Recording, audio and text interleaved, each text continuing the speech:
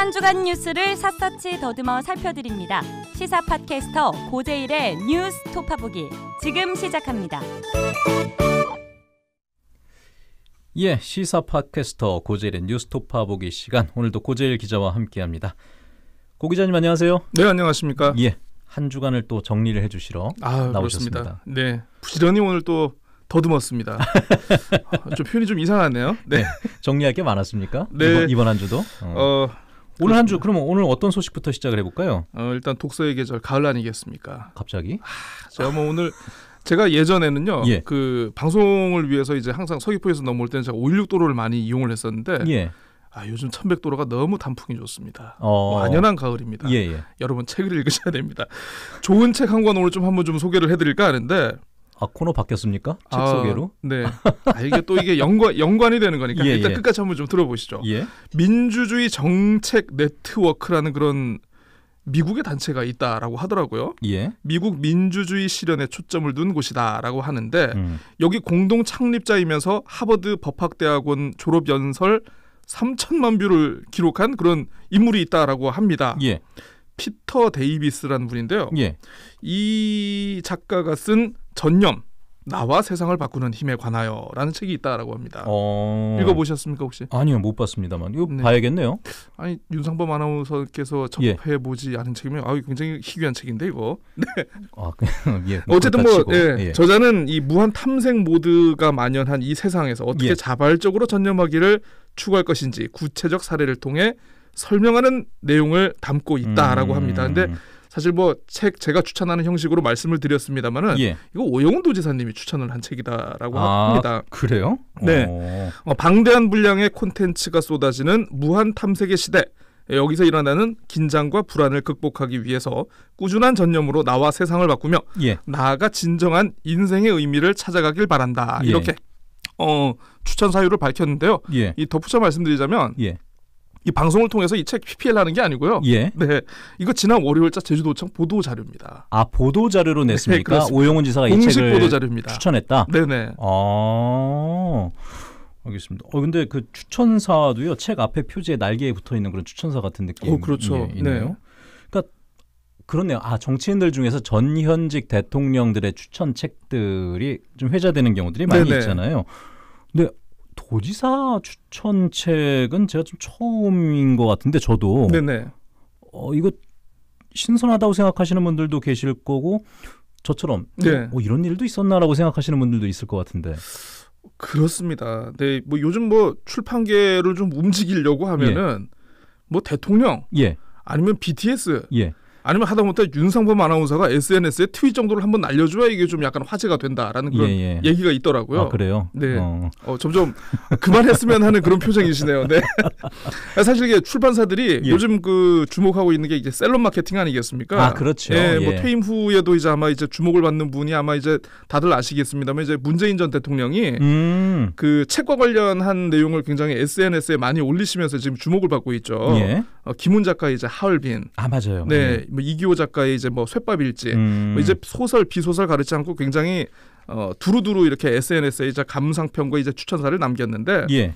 어, 지금까지 10권 정도를 추천했는데 모두가 베스트셀러에 진입을 했다라고 하니까 이게 뭐 음. 신조어로 분프셀러 이런 말도 있다라고 하더라고요. 예, 예. 이런 상황에서 혹시나 우리 오 지사님이 예. 나름의 뭔가 동기부여를 받으신 게 아닐까 이런 생각이 들었습니다. 예. 그 오영훈 도지사의 추천 도서는 어떻게 뭐 출판 시장에서 잘 나가는 책들인가요? 아니면 뭐 반응이 좀 있습니까? 어, 방송 전에 좀 확인을 해봤는데 예. 어, 이걸 소개를 해드려야 될지 모르겠습니다만은 예. 예, 교보문고 기준으로 인문 분야 129위, 음. 예스 24, 인문교양 83위. 네, 양호하다면 양호한 성적을 기록을 하고 있는 것 같습니다. 많이 알려진 책은 아니고요. 네, 그렇습니다. 어. 뭐 아직 뭐 문프셀러 여기에 견줄 만한 수준은 아닌 것 같습니다만은 예. 뭐 이게 순위라는 게 중요하겠습니까? 이게 뭐 음. 책 자체는 그 자체만으로도 충분한 가치, 메시지, 에너지를 또 가지고 있는 거니까요. 그렇죠. 근데 이제 제가 주목한 점은 이게 뭐 단순히 오영훈 도지사의 책 추천 그 너머에 약간 정치적 행보가 좀 읽히기 때문인데요. 예. 좋게 얘기하자면 이제 문재인 대- 전 대통령에 대한 오마주 이렇게 볼수 음. 있겠습니다만 이제 몇몇 뭐 정책들처럼 예. 약간 문재인 전 대통령의 뒤를 따라가려는 모습이 자꾸 이렇게 눈에 들어왔습니다. 아, 롤 모델로 삼고 있다는 겁니까? 그렇습니다. 어떤 점들이 또 들어오셨습니까? 뭐 최근에 이제 대표적 사례를 보면은 예. 어, 제주도가 온라인 청원 창구를 아, 창구를 가동하기로 했다. 아, 이런 내용이 예, 있어요. 예. 뭐 공공제도 개선이라든가 예. 법령 뭐 그래 어, 또 이제 조례 재거, 재개정 요구 같이 이 다양한 정책 현안에 대해서 도지사가 직접 챙기겠다. 음. 이런 온라인 도민 청원실을 신설해서 다음 달부터 운영할 예정이라고 하는데 예.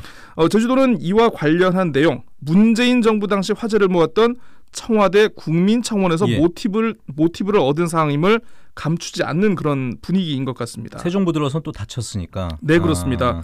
어, 공개 청원 같은 경우에 30일 동안의 의견 수렴을 두고 예. 그리고 이제 청와대 청원 어, 국민 청원은 옛날에 20만 명 예, 예. 요거 달성하느냐 못하느냐 이게 또 관심이었거든요. 어, 그렇죠. 네, 어, 이번에 도민 청원실은요 예. 1,500명 이상의 동의를 얻는 경우에는 예. 우리 저 오영훈 도지사님께서 직접 답변에 나서신다. 아, 그래요? 라고 합니다. 어. 어, 1,500명을 채우지 못한 처- 어, 공개 청원이나 일반 청원 같은 경우에는 예. 해당 부서에서 이렇게 답변을 하게 되는데 예. 어, 온라인 도민 청원실과 관련해서 제주도는 민선 8기 도지사 공약 사항으로 신속한 도민 목소리를 반영하는 음. 소통 창구로 활용하기 위해서 신설했다 이렇게 밝혔습니다. 예. 여기에 더해서요. 이 오영훈 도지사가 지방선거 당시부터 좀 힘을 줬던 메시지 가운데 하나가 예. 제주를 신남방 정책의 어, 신남방 정책의 전진 기지로 사용하겠다. 어, 많이 선언을 했습니다. 예. 어. 신남방 정책은 이제 그 문재인 정부 당시에 예, 예. 대표적인 그 이 외교 관계 다변화를 구축하는 그런 어, 그렇죠. 정책적 포인트 아니겠습니까? 예, 예. 어, 이, 이 외에도 아무튼 다양한 정책과 행보를 이어가는 모습이 아마 조금이라도 관심 있는 분들은 어, 어, 좀 비슷한데, 비슷한데 어. 이렇게 한번 눈치를 챌 수 있을 것 예, 같습니다. 예. 근데 이제 다만 좀 아쉽게 느껴지는 점이 있다면은 음. 이 중앙 정부라든가 지방 정부 같은 경우에는 아무래도 좀 권한과 역할 그리고 정책적 목표 등을 고려한 어떤 지향점이 좀 약간 달라야 하지 않을까 싶은데 예. 신남방 정책 같은 경우만 하더라도 지방 정부 수준에서 우리가 어떤 외교가 가능할까 예. 이렇게 좀 의문도 들고요. 사실 교류와 통상적인 뭐 그런 어, 소규모 통상 정도가 아닐까 싶은데 예. 좀 전진 기지를 자처한 것은 좀 나간 것 아닌가? 앞으로 음. 어떤 식으로 이걸 풀어 나가려고 하는지 좀 약간 예. 궁금해지긴 합니다. 아, 기가 좀 만나고 다니셨던 분들도 관련된 분들이 좀 있네요, 보니까. 네네. 해외에. 아, 어, 그렇게 좀 생각할 수가 있겠군요. 근데 뭐 정치적으로 존경하는 인물이 있다면 그리고 뭐 벤치마킹할 인물이 있다면은 그것을 따라하는 거는 충분히 다 있을 수 있는 일이고 네네. 아니 전임 원희룡 도정 때도 사실 그 버스 개편하는 거 보면서 아 이명박 대통령을 그렇죠. 롤 모델로 해서 했구나라는 그런 그렇습니다. 얘기들이 있었습니다. 그런데 이제 아 보는 시선에 따라서 그럴 수도 있겠네요. 그러니까 정치인이 자기 컨텐츠보다 좀 따라하기 쪽으로 가는 거 아니냐 이런 그렇죠, 얘기들도 나올 그렇죠. 수 있다. 네. 아, 예, 제가 지난 방송에서 예, 예. 이 오영훈 도지사의 어떤 민주당 내 위상에 대해서 한번 저희가 점검을 해 드린 적이 한 번 있지 않겠습니까? 어, 예, 예. 그냥 오영훈 도지사는 지방자치단체장이 아니라 예. 민주당 내에서 당내 정치인 출신 가운데 지금 유일한 도지사라는 점. 아, 이 부분 다시 한번 좀 생각을 해보실 필요가 있을 것 같습니다. 예. 이분 또 아직 나이도 젊거든요. 예. 도지사 그 너머를 어, 고민하는 것 아닌가라는 예.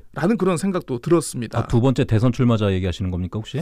어, 그래 이제 뭐 지사님 많이 알고 있겠죠. 그 너머니까. 네, 아, 예. 혹시나 이 방송 들으시면 꼭 한번 연락 주시기 바랍니다. 뭐 실현 여부 뭐 이런 것들은 뭐 도민들의 판, 판단은 이제 별개의 사안이겠지만 예.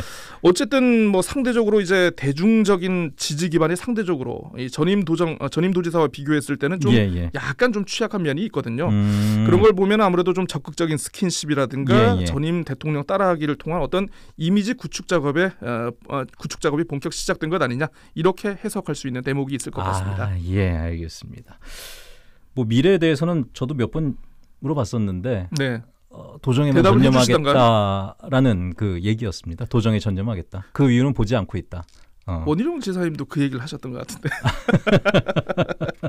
알겠습니다. 네네. 아, 근데 지금 말씀하신 대로 사실 여러 가지 나오는 것들을 보고 있으면은 이런 해석도 가능하다라는 거 어, 우리가 저의 개인적인 해석입니다. 부분이겠죠. 알겠습니다.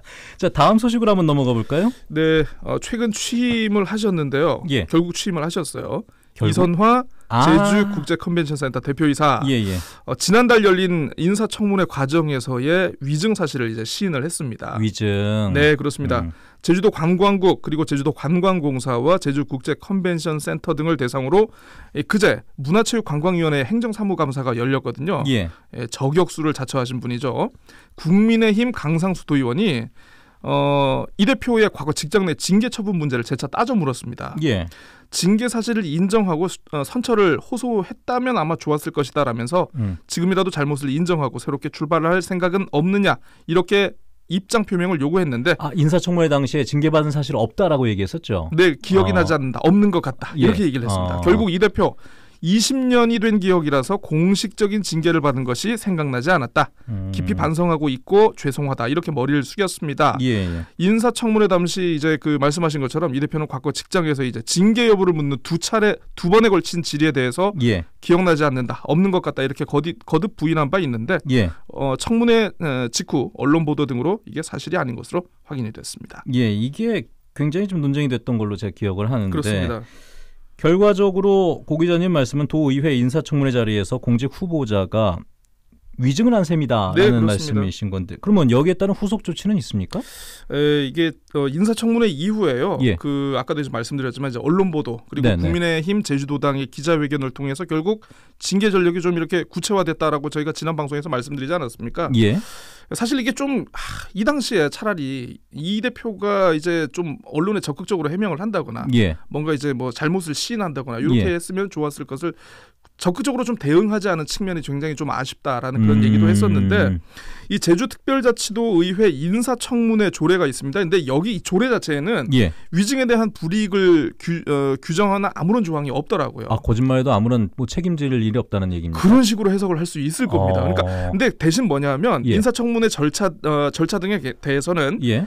어, 제주특별자치도 의회 행정사무 감사 및 조사에 관한 어, 조례 규정을 준용하도록 되어 있습니다. 예. 자 그런데 이거 행정사무감사 조례에는요 예. 위증을 금지하고 이를 예. 위반할 경우에는 고발 또는 과태료 등의 처벌 등을 명시하고 있는데 예. 어, 하지만 이제 도의회가 이번 인사청문회에서의 어떤 위증을 구실로 예. 별도로 문제를 삼을 것 같지는 않습니다. 어, 때문에 이제 인사청문회 주관 상임위인 아, 상임위인 아, 문화 아, 문화관광체육위원회의 견제 소홀 그리고 예. 이에 따른 제도의 무용론이 다시 한번 재점화될 가능성이 있는데요. 아. 앞으로 이제 뭐 ICC 제주가 뭔 어떤 특별한 경영상의 문제가 발생하게 된다면은 아마 우리 도의회도 좀 연대 책임을 져야 되지 않을까. 네. 이런 불행한 생각이 드네요. 아 이게 조금 복잡하게 들리실 수도 있는데 자체 규정은 없는데 네네. 그러니까 준용할 규정은 있다. 조례는 그렇죠. 있다. 네. 근데 거기서 뭐 이제 고발이나 과태료 등의 처벌을 어, 할 수는 있는데 안 할 것 같다. 그렇죠. 아, 의회가 해야죠. 예, 의회가 고발을 해야죠. 하게 되면. 근데 의회는 안 할것 네, 같다. 안할 것 같습니다. 예, 알겠습니다. 어, 굉장히 사실 다른 기관장들에 비해서 인사청문회가 좀 요란했던 부분이 있었는데, 그렇죠. 음, 뭐 결국 임명됐고, 네. 예, 지금 이제 뭐 활동을 하고 있는 거죠. 네. 예, 알겠습니다. 출근을 하고 계시더라고요. 예. 자, 다른 소식 하나 더 들어볼까요? 네, 도내 소상공인들의 이 과도한 수수료 부담을 덜어주기 위한 공공형 배달앱 12월부터 도입될 예정이라고 합니다. 아, 드디어 도입됩니까? 네. 어, 기다리셨군요. 이게 아무래도 좀 요즘에 수수료 문제가 많이 그렇습니다. 불거져서 어, 제주도 그리고 제주 경제통상진흥원 그리고 한국외식업중앙회 제주도지회 어, 이 앱 배달앱 개발사인 주식회사 먹개비 등 사자가 예. 지난 14일 어, 관련 업무 협약을 체결을 했습니다. 예. 그래서 배달앱 수수료의 부담 완화 그리고 이용 활성화를 통한 지역 경제 발전을 위해서 어, 협력하기로 했는데요. 예, 어, 중개 수수료와 광고료를 낮춰서 음. 어, 소상공인들의 부담을 줄이고 온라인 매출 확대를 통한 지역 경제 활성화에 초점을 맞추기로 했습니다. 예, 어, 이번에 이 배달앱 우선 어, 운영 우선 협상자로 선정된 이 주식회사 먹개비라는 곳이 약 10%에 달하는 민간앱의 수수료를 대폭 낮춘 1.5%를 적용하기로 했다라고 합니다. 예.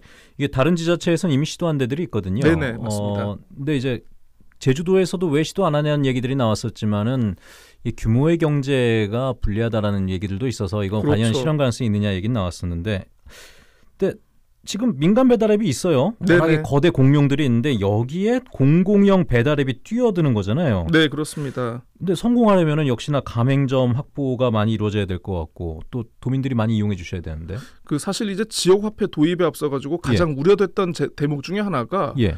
지역 앞 화폐의 할인율이 아무리 높다 한들 카드사가 기, 제, 제공하는 어떤 다양한 혜택을 과연 소비자들이 거부하고 갈아탈 것인가? 그렇죠, 그렇죠. 라는 논란들이 있었지 않습니까? 예, 예. 어, 사실 탐나는 점 같은 경우에 그 부분에 있어 가지고 약간의 성공을 거두기는 했습니다만은 10% 할인 이번. 어. 어, 공공형 배달 앱강 같은 경우에도 그런 지점을 좀 약간 살펴봐야 될 것 같습니다. 음, 어, 말씀하신 대로 제주 외에도 지금 전국적으로 한 20개 자치단체에서 자체 공공 배달앱 서비스를 시행하고 있다라고 하는데요. 예, 이 뭐 상당 지역이 이제 지역 화폐 또는 지역 상품권으로 이제 공공 앱을 결제하는 방식이라고 합니다. 아, 예, 그러니까 업주들 입장에서는 수수료가 낮은 거는 분명합니다만은 예, 이게 말씀하신 대로 이게 주문량에서 너무 차이를 보이고 있다라고 해요. 아, 그러니까 이 일반 뭐 우리가 이제 뭐 뭐 뭐 배달의 땡땡 예, 예, 뭐 요기 땡 예, 이런 같은 경우에는 하루 주문 몰리는 게한 3, 400만 건이라고 하는데 전국적으로. 어, 예, 이 공공 앱 같은 경우는 이제 하루 3, 400건 정도에 지금 불과하다라고 합니다. 쉽게 얘기하면 이게 규모의 경제가 안 돼요. 규모의 경제가. 아, 예, 또 거기다 예. 이제 아까도 제가 말씀드렸습니다만 이제 민간 앱 같은 경우에는 할인 혜택 줘. 또 가끔 좀 위기에 몰렸다 싶으면 가끔 프로모션을 세게 할 때가 있거든요. 그렇죠. 그러니까 그러면 이렇게 고객을 붙잡아 두는데 예. 과연 공공 앱이 이걸 이길 수 있을까? 라는 그런 음. 의문도 많이 나오고 있다라고 합니다. 그래서 결국은 말씀하신 대로 이게 예, 거래 규모를 늘리기 위해서 정말 예. 진짜 어떤 뭐 가맹점이라든가 이용객들을 많이 확보하는 게 이게 굉장히 우선 사인 아, 우선 사항인 것 같은데 어쨌든 이 관련해서 이제 제주도와 이제 사자들은 예, 어, 제주 지역 소비자를 대상으로 한 어떤 가맹점 모집 홍보라든가 배달앱 홍보를 굉장히 굉장히 강화할 예. 정이라고 합니다. 그러니까 이게 고객의 인정에만 호소할 수 있는 부분은 아니잖아요. 그렇죠. 분명히. 네. 그러니까 지역 화폐 아까 탐나는전 얘기하셨는데 이 사례를 봐도 그러니까 취지 자체는 뭐 지역 경제 활성화를 위해서 좋은 취지로 출발했다 하더라도 네네. 중간에 보면 운영사 선정할. 때 또 운영사 바뀔 때 이게 맞습니다. 굉장히 좀 말들이 많이 나오던데 민간 위탁사 좀 선정한다는 거잖아요. 네, 이것도. 그렇습니다. 이거 굉장히 신중해야겠네요. 그러니까 사실 이제 제주도 자체가 이 공공 배달 앱을 사실 좀 더 일찍 상반기에 도입할 예정이었었는데 예. 이 운영사 문제로 지금 조금 이게 많이 늦어진 측면이 없잖아 아. 있는 것 같습니다. 그래서 어쨌든 요번에 이제 그 운영사로 선정된 이제 그 주식회사 먹갭이라는 곳이 예. 어쨌든 제주 말고도 이미 전국 11개 지자체에서 이제 배달 앱을 운영 중이라고 하는데 예. 9월 말 현재 어, 월 평균 거래액이 한 32억 5천만 원 정도의 실적을 올리고 있다라고 이렇게 음. 제주도는 설명을 하고 있습니다. 근데 예. 다만 다른 지역에서는 예. 이곳 말고 다른 위, 뭐 민간 위탁 운영사가 경영난에 시달려서 약 열흘 만에 사업을 포기한 경우도 있다. 아, 열 달 만에 아, 사업을 접은 경우도 있다라고 하고요. 예. 죄송합니다. 열흘이 아니고 열열 달이었습니다. 달. 예. 어쨌든 이 위탁 운영되는 공공 배달앱 같은 경우에는 이 위탁 기업의 역량에 좌우될 수밖에 없는 그런 측면이 분명히 있는 것 음, 같습니다. 그렇죠. 여기 또 이제 뭐 운영사의 경험 외에도 투자 여력 그리고 중장기 운영 어떤 의지에 따라서 이게 안착 활성화가 많이 갈리게 될 것 같은데 예. 여기에 대해서 이제 또 이제 결제 방식을 지역 화폐로 하게 되면은 또 이제 지역 화폐가 소진될 경우에는 또 이게 예. 어떻게 대체 상황을 또 운영할 아. 것인가 또 지금 또 지역 화폐와 관련해서 국비가 이제 끊긴 상황에서 계속 지방비만으로도 이걸 운영할 것인가 예, 예. 아, 굉장히 많은 것을 좀 동시에 고민을 해봐야 될 것 같습니다. 단순하게 앱 하나 만들어서 도움을 준다 이런 측면으로 보면 안 되겠군요. 그렇습니다. 걸려 있는 것들이 좀 많이 있다 보니까 택시도 그 거대 플랫폼 기업 때문에 제주도에 어, 리본 택시라고 또 이게 네네. 나온 게 있는 걸로 알고 있습니다만은 이것도 좀 어려움을 겪고 있다는 얘기 들었습니다. 그렇습니다. 아무튼 뭐 지역 입장, 지역민 입장에서는 잘 됐으면 좋겠습니다. 사실. 네, 잘 돼야죠. 자 오늘 뉴스 토파 보기 시간 오늘 여기서 마무리하도록 하고요. 한 주간 마무리 잘해줘서 고맙습니다. 저희는 다음 주에 뵙겠습니다. 네, 감사합니다.